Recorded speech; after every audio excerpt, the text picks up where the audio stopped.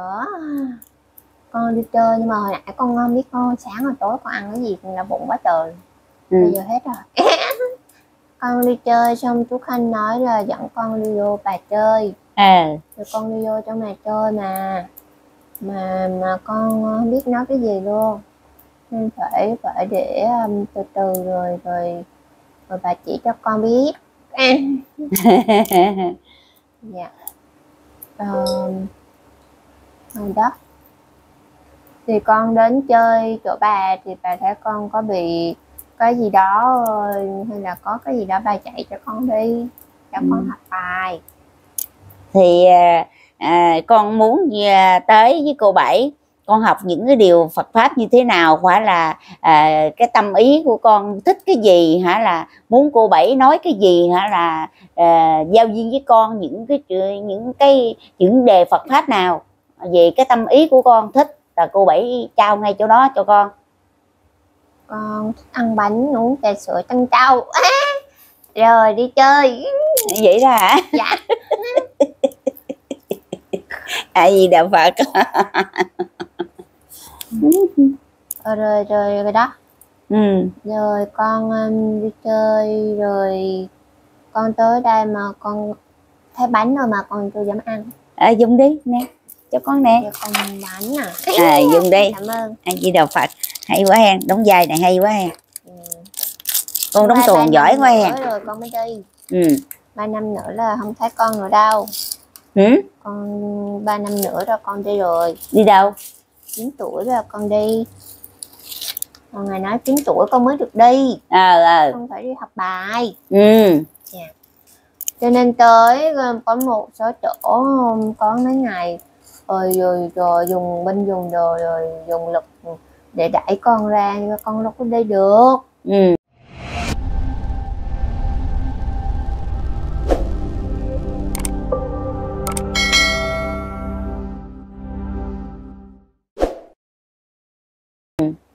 Dạ.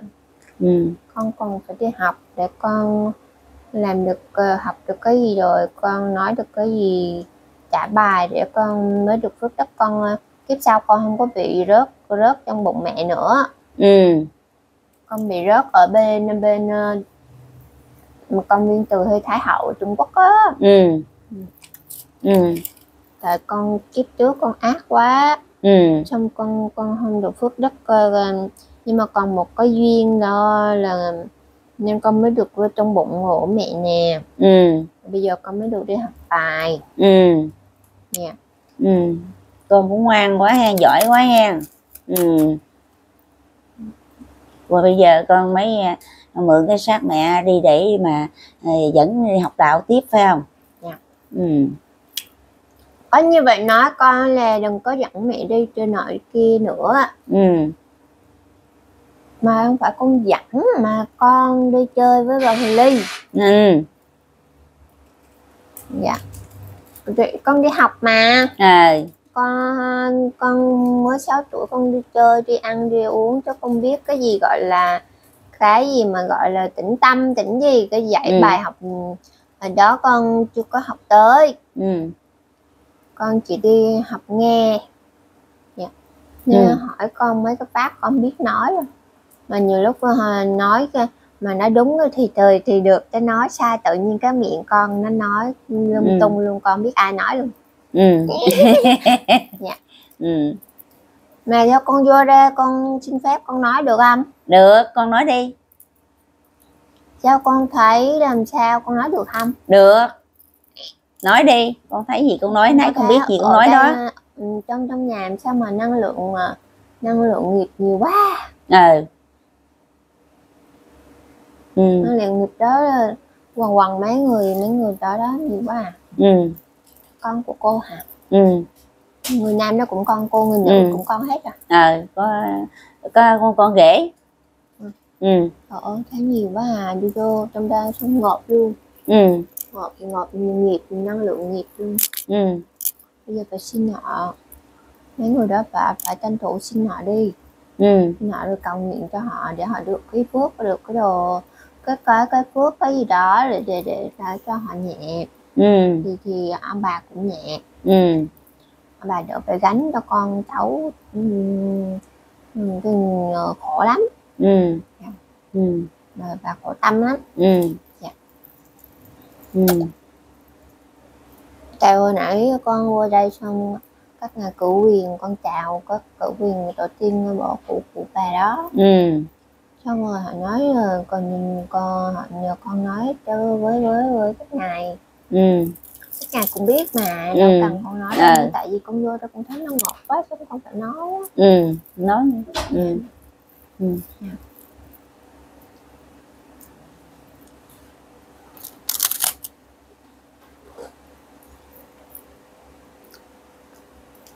Có có có có cần con con giúp một chút con xin con xin ngài cho nước tịnh thủy cho cho các người con của cô uống không?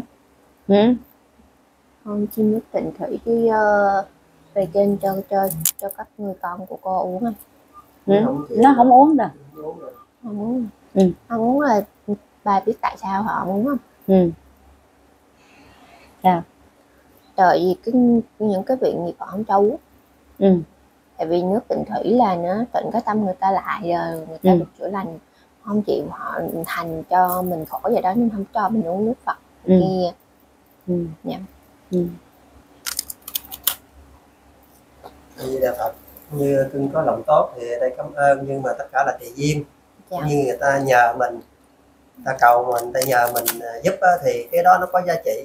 Còn chứ không mà mình mình kêu người ta như vậy thì người ta không chấp nhận chứ Dạ. không rồi mình ta không biết cái gì là cái gì nữa thành ra người ta cười mình thôi hoặc là người ta không chấp nhận mình thì Ừ. người ta cho mình là cái cái gì đó này cái nọ rồi cái nó không có vui vẻ với nhau không có tốt đẹp với nhau. Tất cả là tùy duyên đi. Dạ. Ừ. Ừ. đúng rồi. Có những cái duyên đến rồi nhưng mà không biết nắm bắt. Ừ. Nó là như vậy. Ừ. Dạ mình mở lòng ra thì con cháu mình được hưởng. Ừ. Ờ, thì Ừ. mình nhìn thấy được ừ thì mình nắm bắt thì Ừ. con cháu mình được hưởng mình cũng được nhẹ ừ đó. chứ không phải là lúc nào con cũng mở lời ra con giúp đâu. rồi tôi hiểu mà Ừ. ừ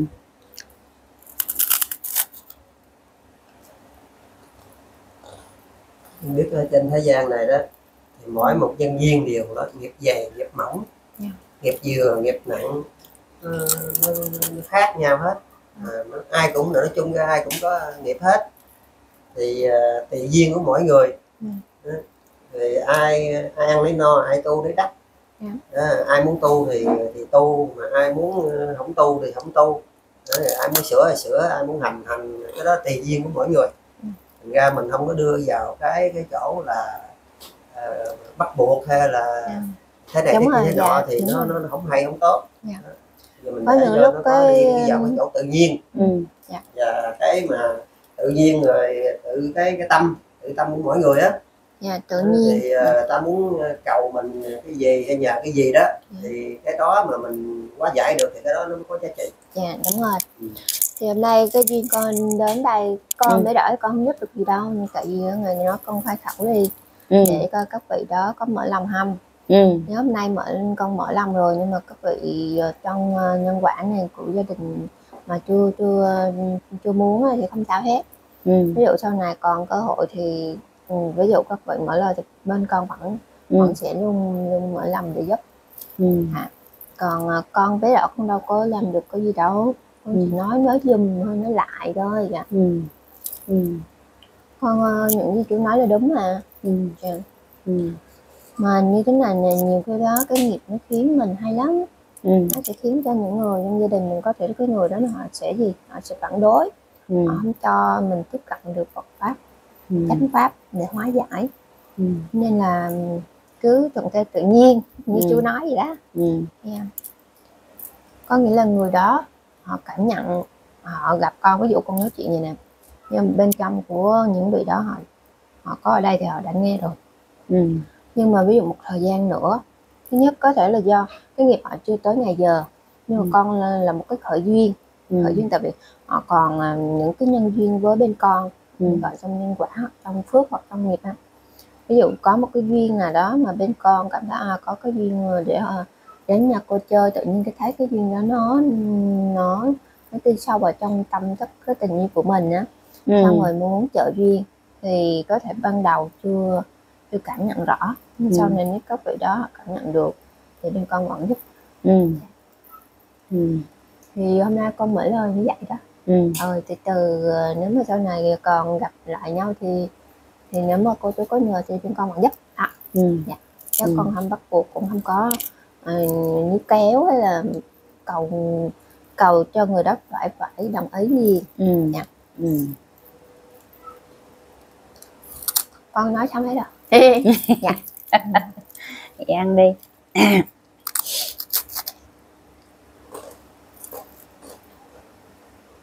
ừ.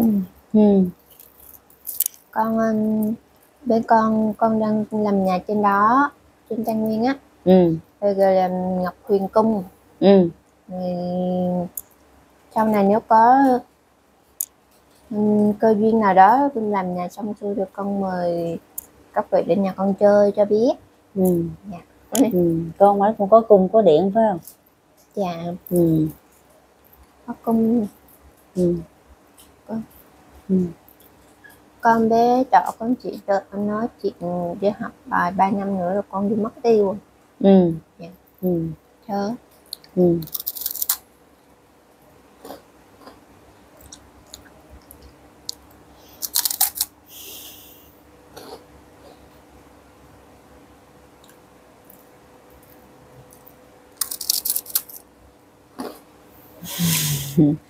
rồi à, con có những cái à, à, chánh pháp nào về Phật pháp không? Con chia sẻ với cô bảy về cái Phật pháp á. Phật pháp à? Ừ. khai mở về cái Phật pháp ờ, để mà à, trong cái tâm con tu học được những gì? Và tới để mà tới trường lớp nào và đạt được cái cái cái pháp di diệu nào? Cảnh giới cha mẹ thầy tổ hóa Phật nào đó hay như thế nào cung nào đó con đạt được về cái pháp đó con chia sẻ lại với cô bảy coi. Dạ, Ừ. để người khác nói con không biết nói. Để con con mời vị khác nói. Con ăn bánh xong con mời vị khác nói. Con không biết nói. Nha. Con nhỏ con không được gì nói pháp trước trước người lớn tiền bối cho nên con ăn bánh xong rồi con mời vị nào đó về khẩu thì về nhé ừ và ăn đi rồi các ngày trên cô mời cái các vị ờ, về phần con á Dạ. ừ rồi nào đó rồi con khai khẩu con nói chuyện với cô Dạ. bảy ừ Dạ.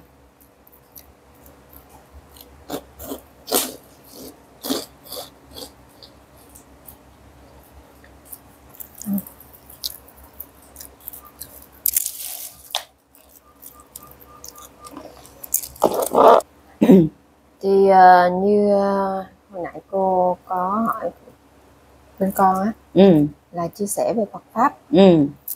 Thì ờ, theo con. Ừ. Phật pháp là giáo lý. Ừ. Đó giáo lý để cho tất cả chúng ta đó học qua để mà chúng ta được nâng cấp ừ. cái tinh thần ừ. lý trí và cái quá trình mà mình nâng cấp tiến Ừ. hóa cho Ừ. các cái cái linh căn của mình ừ. trong nhiều đời nhiều kiếp. Ừ. Thì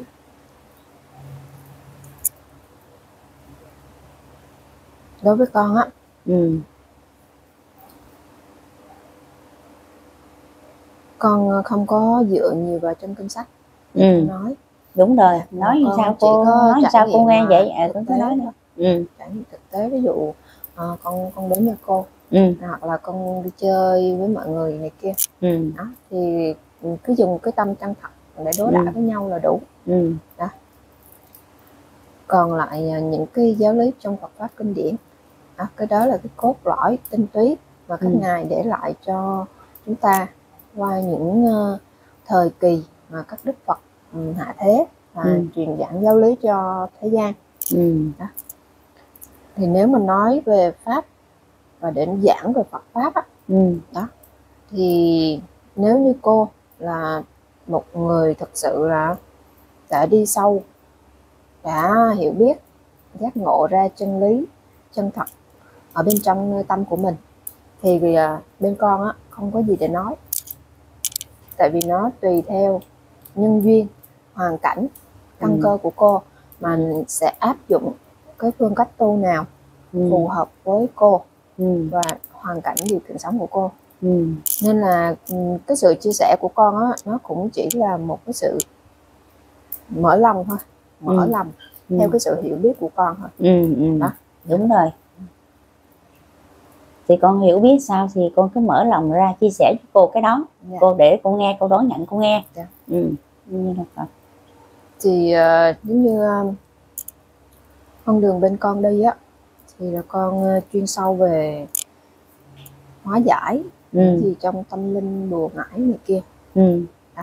ừ, à, thứ hai là những cái duyên mà về hữu duyên với mình.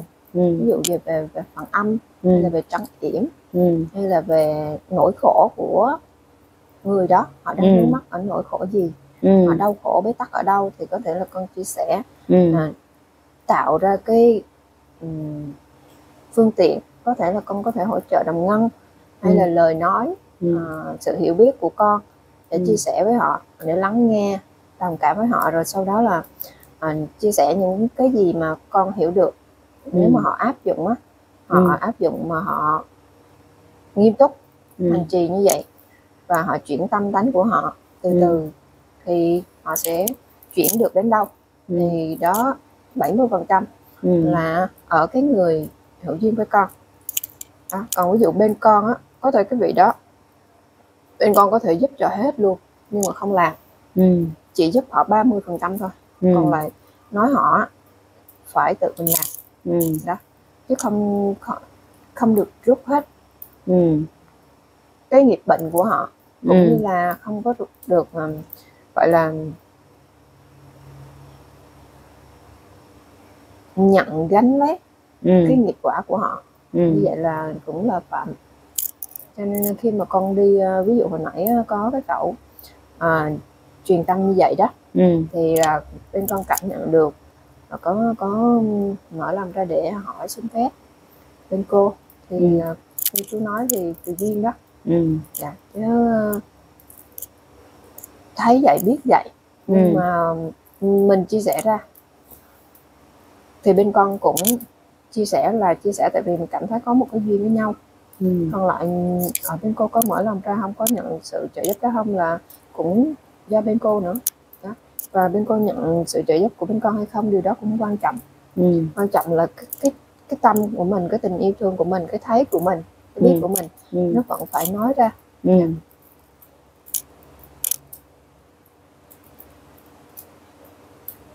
đúng rồi thì đưa bé ờ, đi học. Ừ, là tại vì còn 3 năm nữa thì Ừ. bé mới được đi.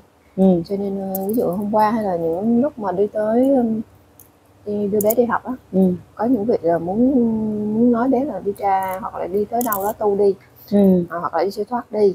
Ừ, rồi, rồi không có dẫn mẹ đi này đi kia nữa. Ừ, nhưng mà thật sự là chỉ có trong bên con mới biết là bé nó phải như thế nào. Ừ, đó thật sự là những việc đó cũng tốt cũng Ừ. sợ là à, dẫn dắt ừm, mẹ đi rồi à, nói năng rồi bậy bạ lung tung rồi động chạm hay là ừ, à, không có được ngoan hiền với người lớn tiền bối đó. Ừ, thì nhiều lúc cái khẩu bé nó nó kiểu như là nó con nít đó nhiều lúc Ừ. không bụng miệng nó cũng được nữa. Ừ, đó kiểu như vậy.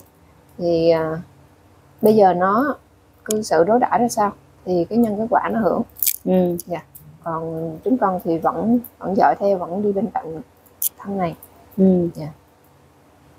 ừ, chứ còn ví dụ như khi đi tới gia đình của cô ừm, Vinh Lê Thanh Như Duyên đó ừ, thì con cũng mới muốn tới thăm.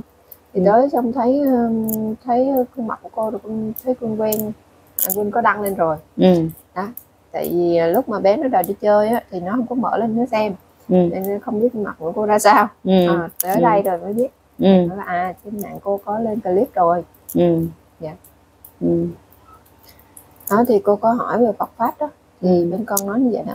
Muốn chỉ ban đầu cái ờ, cái tánh Phật của mình á ừ, ai cũng có rồi. Ừ, còn xuống đây thì nó mới cần Phật pháp. Pháp Ừ. là để đối đãi trong cuộc đời gọi là pháp. Ừ, đó, Phật chính là dụng cái Phật tánh đó của mình để Ừ. mình đối đãi với nhau. Ừ. làm sao để cho mình à, trải nghiệm tất cả các bài học rồi cuối cùng mình vẫn trở về cái cái Phật tánh ban đầu thì khi mà cô và các vị đã hiểu rồi thì đâu cần con bên con phải nói nhiều về Ừ. Phật pháp nữa dạ. tại vì có thể những cái lời nói của con á mà theo cái hiểu của con nó không phù hợp với cái cái căn cơ của bên cô không dạ cô là nhận hết sẻ. con nói cái à, pháp à, à, cô không phân biệt cao thấp hay là lớn nhỏ ở như thế nào hết. Dạ. đã Phật rồi pháp rồi thì pháp nào nó cũng nghe cũng cô cũng hòa được hết cô nghe nhận được hết Dạ. cô không có phân biệt cái gì hết Dạ. ừ, con cứ mở cái chánh pháp nào ra trong cái tâm con hành được có con nói cái pháp nào cô bảy cũng đón nhận để cô bảy nghe hết Dạ. ừ. hòa nhập để nghe hết ừ.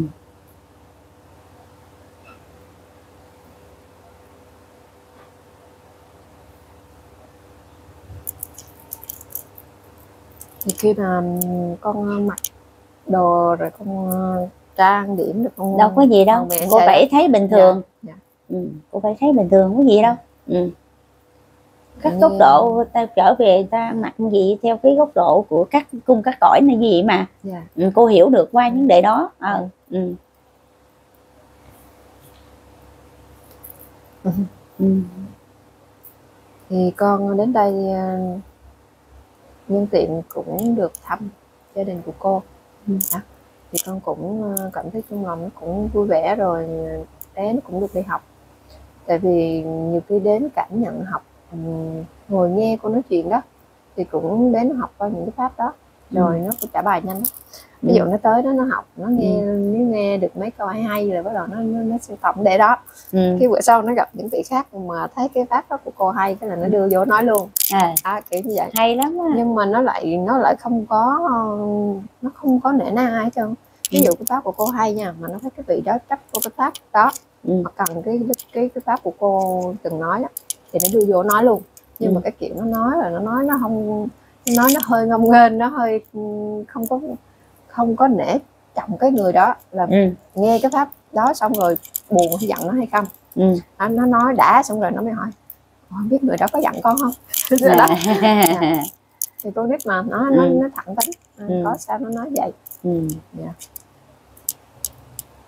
không đâu cái những người nghe pháp và học đạo tu về chánh pháp của Phật rồi thì những người đó tu học rồi Phật có dạy về qua cái lễ nghi Dạ về lễ nghi và tôn nghiêm của người Phật và học đạo của các Phật tử. Nếu vô một cái trường tu của Phật dạy rồi, thì người đó rất là lễ nghi, đâu ra đó rõ ràng. Tâm khẩu ý và từng cái lời ăn tiếng nói và từng cái cử chỉ đi đứng nằm ngồi đều có cái nghi thức của Phật dạy hết. Tất cả cung cõi nào, hả? Trường thi của mẹ, của quan âm hả? Các cấp các cung tiên các vị nữ nào đó thì cũng có cái lễ nghi y thức của một người tu học. Phải có học. Nếu biết nói học đạo thì phải có cái nghi thức đó. Phải có cái lễ nghi đó. Nó có rõ ràng.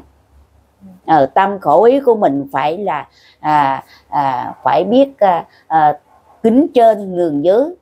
Đó mới đúng là một người tu học. Mới có cái hạnh đạo mới tu chứng đắc được. Dạ đó, nếu có học đạo thì phải như thế. Đó, mình phải biết, mình phải biết tôn trọng những người tu học. Giàu cho lớn hay nhỏ nhỏ hơn mình mình cũng phải tôn trọng một vị đó là tu học. Mà một vị tu học đó là một tương lai phật tử sẽ thành. Thì mình phải tôn kính một vị đó giàu nhỏ hơn mình. Mình cũng tôn kính mà giữ cái lễ nghi đâu đó cho nó đàng hoàng trên dưới để cho chánh pháp bề trên mình nói chuyện giao duyên nó có ý nghĩa như Phật đạo.